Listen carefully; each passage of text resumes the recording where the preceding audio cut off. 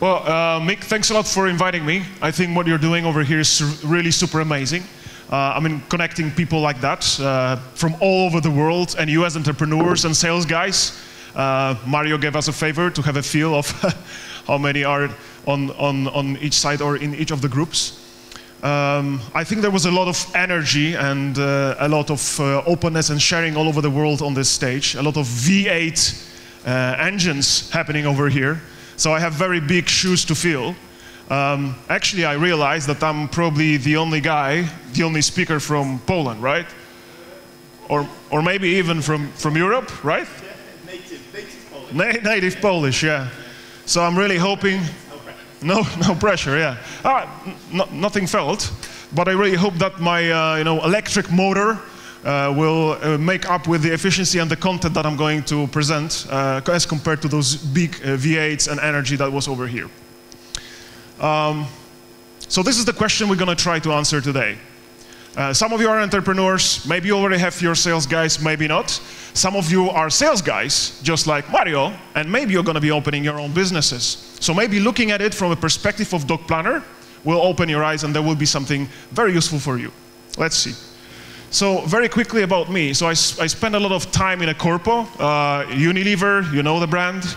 Uh, then I was approached by Mariusz Gralewski. Maybe some of you guys know him um, at least by the name or by the articles in Puls Biznesu and so on.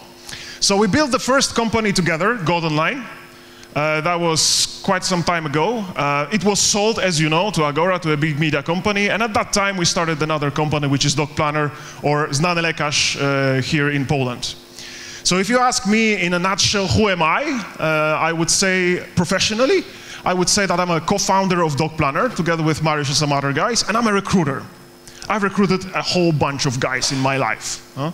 Um, so here are a few experiences that I uh, have to share with you about that. If I were to give you a very quick answer about how to recruit the first salesperson and how to, how to recruit the 100 salesperson, that would be my answer. I mean, the, the least uh, damaging scenario of hiring the wrong first sales guy is that you will lose a little bit of time uh, and you will need to hire another one. Uh, the, the hardest scenario, the, the worst case scenario that you can imagine is that can, it can actually kill your company. And I know a couple of uh, companies like that. Huh? You're losing the competitive advantage because of the speed uh, to the market. You're burning some of the customers. The sales guy has to be there for some time to recruit the team and so on. So suddenly, if he fails, half of the team is gone, at least demotivated, if not leaving with the sales guy. Um, the second part, if you are about to recruit a, an 100 salesperson, then probably you know your stuff. You have a business model that is working, and it's really about doing it faster than anyone else because probably, if you're that successful there, there might be someone else, there probably is, that also is pretty successful. So you better recruit your sales guy, sales guy, sales guys fast. Huh? Um, my learnings are dictated by the kind of business model that we have. So let me tell you very briefly about it. Uh, marketplace for doctors and patients. What we sell is an online calendar, basically, to doctors, and we do it via phone and via direct sales. Uh, has any one of you used uh, Lekarz ever? Raise your hand, please. Uh, I was hoping for much, much fewer hands raised. Uh, we have a lot of health problems, probably because of the weather, right? In Philippines, oh, maybe you have also some health problems there, uh, maybe not related with the weather that much. Um, this is what happens when we enter a new country. So we entered a new country uh, six times, and this is the recruitment that has happened so far in the history of the planner for the last six years. Huh? Now, the countries that we entered and failed, they are not there on our map. And uh, that's what I meant about uh, recruiting the first sales guy very, very slow. We have an internal recruitment machine.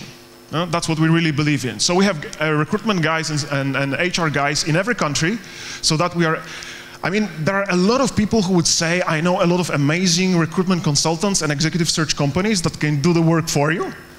But I believe uh, is that uh, if you agree that recruiting and acquiring the great talent is like one of the core competencies. Because if you recruit the right sales guys, your company is going to grow, it's going to scale, and so on and so on. Then probably it's a good idea to have it in house. Uh, just a glimpse on, on the results. And as I said, the countries where we failed, that's Hungary and Czech Republic. Uh, we hired the wrong first sales people, uh, country managers, and so on. So uh, they're not on the map anymore. And each of those countries that you can see, it kind of demonstrates. So we do have a lot of direct sales on the phone and in the field. So a lot, a lot in Doc Planner depends on sales. In total today, we have 350 salespeople, and more than half of them are sales. Okay, so these are like really big questions to answer, and I really don't have all the answers, or I don't have the answers for all of you, but I really would like to um, share with you all the, let's say, hacks or tricks that I saw that worked for us, and maybe in a context they will work for you. Um, but before we do, let's define why we recruit the sales guys. Huh? We recruit, um, of course, to sell, but we also recruit for scaling. Huh? So um, what I mean by scaling is that the first person is able to be followed by the, by the next one and the next one and so on. So when it comes to recruiting the first sales guy, of course, we're talking about a sales manager or someone who can be a sales manager, so who has potential to be one. Uh, when you're talking about the general sales guys, then it's about certain culture fit and about certain efficiency and quality of the guy so that uh, the team can build uh, on a healthy basis. Huh? So the first question to answer, and uh, it's, uh, the, it's more difficult to answer it in the first, uh, in the case of recruiting the first sales guy. So who am I really looking for? Um, we'll get to that why, um, of course, when you're, when you're considering, there's a lot of elements to think about. Huh? And as I said, it's not an encyclopedia that I can share everything with you and, and uh, have all the answers. However, uh, if you would ask me on this incomplete list of things that I look at, then of course the sales skills. I mean, if you're a founder and you're not selling yourself and you're looking for a salesperson, then probably this is what you're missing. Uh, it is connected with the profile of the person. And I don't know how much you have read or thought about what a successful profile of a salesperson looks like, and I'm not talking about experience. If you read uh, smart books, they will tell you that a successful salesperson is someone, for example, in between introversy and extroversy. You don't want someone who will uh, not have enough empathy to really give space for the customer, whether it's B2B or B2C. So the profile of the person is super important. And finally, leadership skills. If you're having a company that is growing, then probably sooner or later you will need more leaders in sales than fewer. And I have failed to recruit successfully mid-careers or sales managers into the org structure. They have all grown from within. So if you're hiring people, that's what I look at, those three things, sales skills, profile, and team. Um, the first hack that I want to share with you uh, is how, how, do you get started? It's, it's really, really, uh, you know, kind of tough. So we tried two things and they both uh, work. So first you can think about hiring an amazing sales guy with experience uh, in selling and also in leading a sales team. Many times it happens that he already has a network. I mean, if it's a successful sales guy for the last five or 10 years, oh my God, he should have people who love him, right? He's a leader. He's not only a sales guy. So he, knew, he should have somebody from his background to take on board. And then uh, that's how the structure can be built from there. Uh, on the other hand, we did a couple of times an experiment, let's call it like that. We did it in, um, in Spain. Uh, we acquired Doctoralia, so we couldn't kind of fire the founders and you know, hire our own sales guy. So we had to do it in a slightly different way. So we decided to hire the first two sales guys. Why two, not one? It's very important because the feedback from one, only one salesperson, if it's a junior salesperson, it's going to be distorted in some way. Huh? It's going to be subjective. If you have two guys, you, or three or four, it's even better, but sometimes you just cannot afford. You get some seed funding, like 100K or 50K or whatever. You really cannot afford to build like five or 10 people immediately. So the minimum I believe you should be able to start is two, uh, because that will give you a lot more objectivity, not only about you know, the response of the market to the product that you're selling, but also um, uh, about the, uh, the, the, the, performance uh, and what is possible to, to achieve. Huh? Uh, so we, did, we did hybrid, hybrid things as well. So um, this is like one of the things that got us really started in many markets. Okay. Um, the second hack, let's say, to share with you about sales guys, there are so many competencies, competency models, and so on. You can read about this stuff. Uh, you have experience in, in big companies where those competency models are built. Uh, I believe in one single very important thing in sales guys, and that is um, being status or money driven. As hard as tough it might seem, as it might seem, that's true. And why is it so? Um, what I noticed, and I might be wrong, and of course, there, there, you, know, you, can prove me wrong actually, but from my experience, what I can see is that uh, the most successful sales guys, they want to prove to the world that they are unique in a certain way. What is the best way to prove that you are unique? I mean, you can wear a red hat all day on the streets of Warsaw, New York, but that's not the point. So money is needed in order to achieve that. So certain signs, material signs of status that you achieve are very important for uh, sales guys. And of course, when you're recruiting senior sales guys, they will never tell you in an interview that money is the main motivator for them. Of course not. Huh? But when you read between the lines, you should be able to see it. Huh? You should be able to hear from them that they have a holiday house in the south of Barcelona. Huh? Or you should be able to see that they, you know, rented not a, you know, Hyundai, but a Mustang convertible when they were on holiday last time in California. Huh?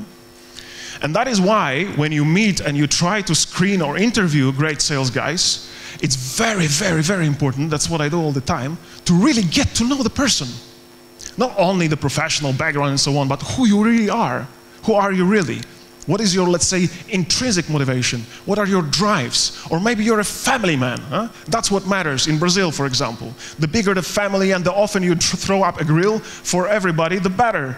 So when I was recruiting for a country manager Brazil, they were most proud telling me that they have a grill for 70 guys. Huh?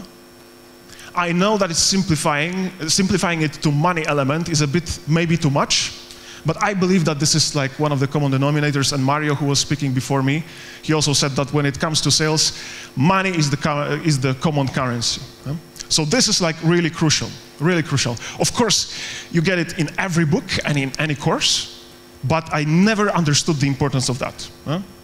Six uh, first sales guys, two failed. Okay, um, on the list of things that I think uh, make sense to, to really focus on when, when recruiting your, your first sales guy is, is the list of those three elements. How many times did you see a company that released a product and it was spot on? yeah, exactly. I don't know how many pivots we did. We, we stopped counting. Huh? So you need someone who is extremely adaptable, not only a great salesperson, but you know, a beautiful mind, mental capabilities, intellect, whatever you call it. Uh, it's really, really crucial. It's crucial also because your company is going to be growing. How amazing would it be if the first sales guy that you hire grows with the company? Almost as a co-founder, right? I mean, who will know the company better? Who will love it more? Huh? What if you hire the first sales guy and then two months or two, two years down the road, you need to hire a more senior guy because he's not able to grow. Huh? So intellect is super, super important. The other two is kind of self-explanatory. If, if, if you're ambitious, then you're putting your intellect to work. Huh? So ambitiousness, I don't know. There are so many things that you can think about when it comes to profiles of guys. Where do you come from? Poor area or rich family? Huh? Who are your friends? Which university do you go to? Were you poorer or richer than the other guys? I know I'm doing it from a C perspective, let's say, where we're still money is a big factor for us and so on. But I believe that there are, uh, you know, counterparts that we can use in, in other cultures where you can really see that that person has something to prove uh, in this world. So ambition is super important and passion to sales. It's amazing to have an intelligent and ambitious sales guy who loves nothing but surfing. He needs to have, have passion to selling. Okay, uh, when it comes to the uh, 100 sales, the uh, answer to the question is a little bit simpler because by then you really should know your profile of an ideal sales guy. And if you think about Poland, in our case, this is it. I know it's really um, controversial and stuff, and uh, yeah, sharing it here with you um, uh, with all the openness. Uh, but this is the truth. Huh? Of course, it doesn't mean that we reject CVs based on that criteria. But if you look at our sales guys, 80% of those, they're like this. Huh? The right mix of, of everything. Again, we are talking about the um, scaling, the 100 sales guy. And the second thing, um, as you scale, um, your optimism grows. And there could be a tendency to lower the bar. Don't ever, ever do that. We did it in Italy, and it fucked up our business, really. We lost at least six months. Huh? We had uh, two quarters in which the rotation was like 60% or something like that. So I'm, I'm just showing to you um, like um, actual work in progress kind of Google sheet, uh, which we call like an interview form, uh, where uh, we evaluate every candidate. There are a couple of evaluators. There, is, um, there are questions, there are areas, um, there is a phone screening, and then the further stages and so on. Lowering the bar is very, very dangerous, and it's very, very tempting huh? because you want to scale faster, faster, faster. And then suddenly you realize how much money you're losing because of uh, lowering the bar. So these would be my hints when it comes to who are you really looking for, for the first sales guy and for the 100th sales guy. Now let's think about where to look for those guys. Now, of course, it's important to understand what kind of profile of the person you're looking for, and then it can determine, you know, the industries and, and all this stuff. But um, if I were to choose from that list, and that list is by no means complete, but if I were to choose from that list, I would go for active versus passive. The best sales guys, do they really need to? I mean, in general, uh, there are exceptions to the rule, but do really best, best sales guys, they are needed. No one will let them go. Huh? They are the core to your business. Whenever I talk to Hayes or Mercer guys, they all say, I ask them, okay, we have a sales guy that is making like 20K per month. Uh, and, and, and I don't feel comfortable with that. And he says, why? It's the best indicator of the condition of your business. If your best sales guy make a lot of money, assuming that your commission system is right, oh my God, it's fantastic. So no one lets great sales guys just change jobs like that.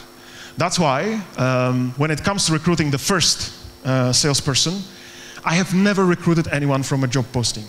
I don't know how many CVs I have screened uh, of country managers um, that uh, we were hiring. Probably approximately six to 7,000, uh, together with my team. Maybe more, uh, especially in Brazil. It's crazy. It's a big country. Uh, it doesn't mean that uh, senior sales guys are not looking for a job. Of course they are but they know how to sell themselves. And we are very, very lucky to have LinkedIn, I believe. And we are very lucky to have GoldenLine or Viadeo or Xing, uh, depending on which part of the world you're from. Um, because you don't need to be a headhunter to be able to reach those guys. And they really love what I noticed. This is our country manager, uh, Brazil, Carlos Lopez.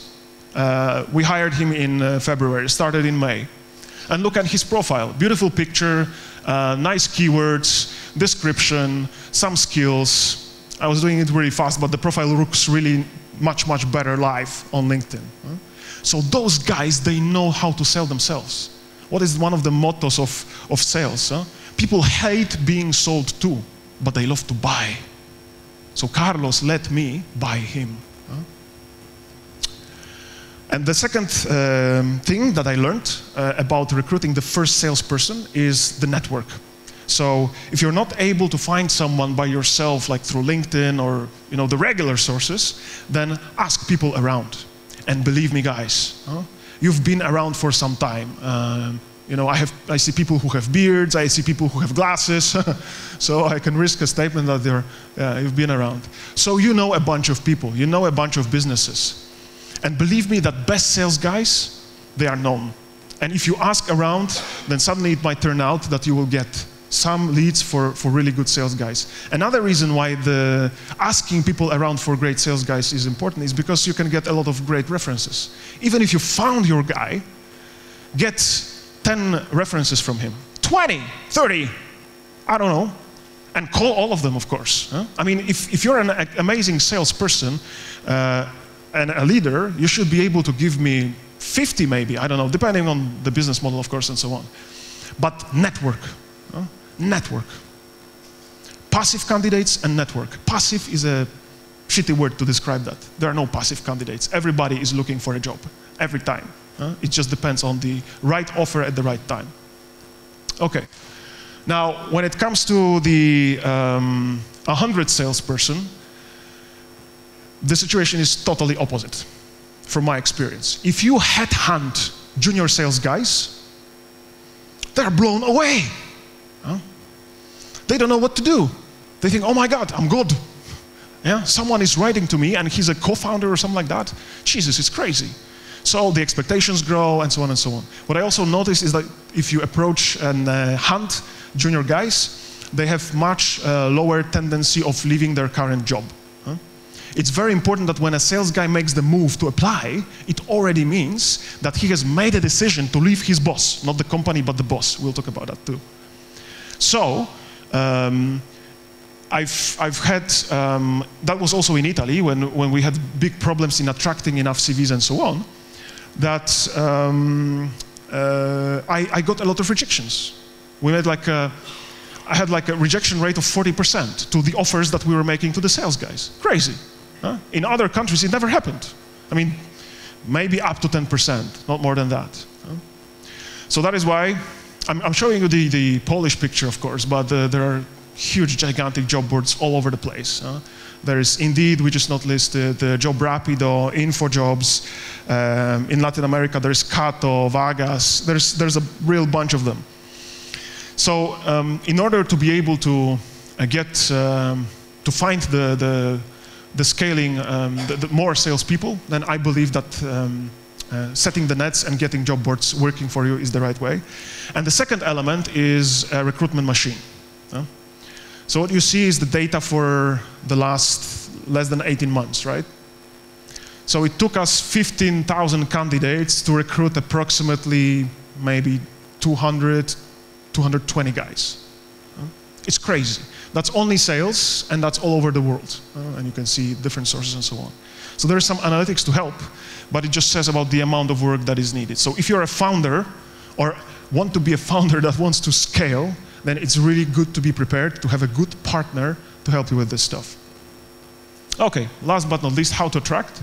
And again, with a sales, first sales guy, I think it's tougher than uh, with a following, also by the nature of the search and how you approach those guys.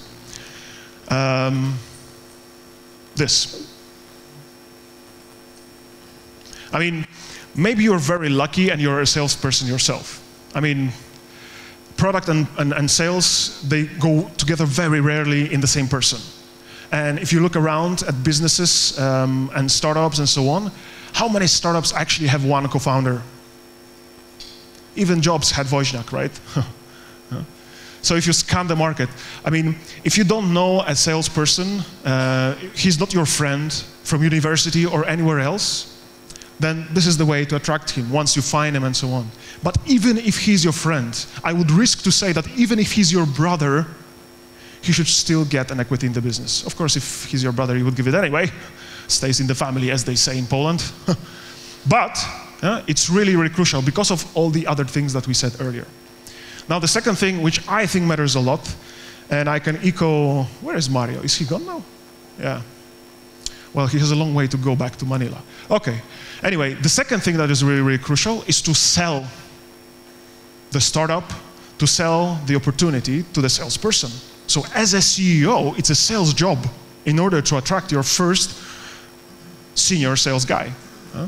What are you selling? You're selling, if you were agreeing with the equity thing, then what you're selling is like the, the potential of the business, the size of the market, the traction that you already have. The fact that the person can become a millionaire one day. You know? um, so it's really, really crucial to show on real numbers because if you're talking about uh, an intelligent salesperson, he really knows his stuff. He will do the analytics. Last but not least, it's great if it's something big or hot or huge and so on. Many people are talking about brand 24 in Poland these days. I bet it's easier when a salesperson makes a research about a brand 24 than if they as if they were doing research on something else that is far, far less known and far less eco. So there is an element of pride that sales guys want to achieve, and I think that um, if you're able to, again, sell it in, in this way, and are already relatively um, dependable, credible, then it definitely will help. How does it work with the 100 salesperson? It's really basic. It really is. Uh, if you want great sales guys, don't offer trash contracts. just offer good ones. If you want, yeah, I mean, it's, it's correlated. And same with salary. I mean, salary is a big word uh, or a very generic word, but I'm talking about commission, fixed, you know, uh, all this stuff inside. So this is like what I observed, one of the first elements. Now, the second element is the boss. Sales, I mean, everybody works for a person. I don't work for a company, I work for a person. Everybody of you works for a person. It might be your wife, but it's still a person. huh? Why does it help? Because of two reasons. Reason number one is when you're being recruited, you're recruited by that person. If you have an amazing sales leader in front of you, you're going to buy him, right? It's not only about the quality of screening, but you're going to buy that person. He's going to convince you, wow, I want to work with this guy. This is going to be a success. I'm going to learn a lot. The second reason is that people leave. People, like I said, they join for people and they leave because of people. Um, uh, so uh, probably you know the book of uh, I think uh, Levi or Levi. You guys can correct me if I'm wrong. I wrote this book about the seven hidden reasons why people leave and so on. Um, with sales, it's a hundred times stronger. We've had uh, the Polish sales team for seven years now. There is Severin and Radek who have been sales managers for seven years. It's fucking unheard of huh? to have sales guys for such a long time. Especially that everybody knows the success of Lekarz in Poland, and everybody will, would like to repeat it with those guys. They never left. And it doesn't work that, uh, in, a, in, a, way that they come for more money and we give them more money. No. Huh?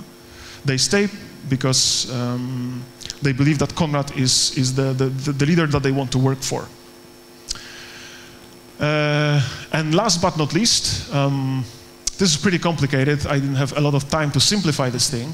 But the bottom line is, is that we did an interview with majority of the sales guys that we have in DocPlanner globally, and we asked them what they like and what needs improvement. And then when you look for common grounds, you see that what they need is great colleagues. So we were talking about great sales guys that um, surround them.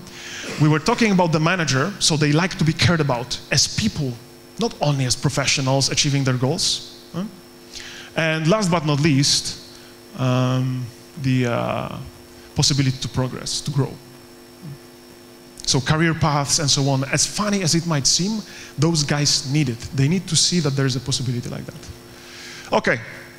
Uh, the last question that I sometimes get is, um, are we looking for a sales leader? Are we looking for a salesperson? I think we're looking for both. I cannot imagine that you have a, a general that is not able to replace anyone in his army. Huh? I mean, there are so many situations when you need to go to the field with a guy and just show him how it's done. Coach him, show him how it's done, whatever. Huh? Soft or hard style doesn't really matter. So I really believe in that. Um, I love Jack Welch, and he keeps me uh, comforted in moments of hardship, especially when I failed in, when I failed in recruiting. So recruiting is a tough job. Huh? If this guy says that 50% is his conversion rate and he's happy with it, um, then yeah, it's a positive sign for me. Now, three things you can implement tomorrow. If you don't have a great sales leader, you should. So think about it. Uh, that's uh, what um, my advice uh, would be if I were a, uh, a startup owner. Um, uh, equity, so being a partner in the company. And if you're talking about the 100 sales guys, I would, I would encourage you to implement an interview form in which the, you will make sure that the speed and quality go hand in hand. And how are we doing the next 10 sales? Well, 10, 10, 10, something like that. And most of the sales that we're doing now is happening through the phone. Guys, so this is it from me. Uh, thanks very much for your attention. Thank you, Lucjan. Thank you. Perfect. We'll keep you on stage for one second, and we'll see if we've got any questions in the audience. We've got time for maybe one. Uh, we're running just a little bit over, but um, I want to start. You talked to I, I kind of like I love interview forms and having numbers and statistics to back up my gut feelings at what stage do you think that you know is it worth doing from day from hire number one just to have the structure? Or you know is it something that you you know you bring in after a certain amount of time or space? Like I, am one of those people that think it's it, you know have it to back it up from the beginning mm. but is it not worth the time maybe or the effort in the very very start? Yeah i mean there are so many easy tools to implement. I would encourage you to measure what you do in the very beginning. If you go to a gym what do you do do you, do you have a plan or what you're going to do? Uh, do you record what you did? Do you modify? We use Tableau, there's Google Sheets, oh my God. Uh, so, as early as you can, and as simple as you can, really, uh, and for free, because it's possible, just do it. Measure what you can, uh, because how do you know what to do if you don't know what you did? I agree. Thanks. Can we give a round of applause once again to Lucjan? Thank you so much for sharing. Thank you. Very much appreciated. Thank you.